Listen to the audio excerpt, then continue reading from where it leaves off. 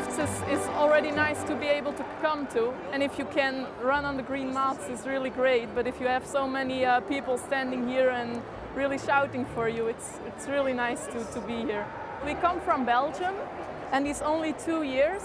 Um, and um, yeah, we've, we came yesterday by train. We will go home only tomorrow, so uh, it was a nice weekend. I think he really showed his movements and um, he's not really fully into code, but he really showed what he was worth and I think the judge must have noticed that. So uh, yeah, you see he's tired, so yeah, it was a busy day for him.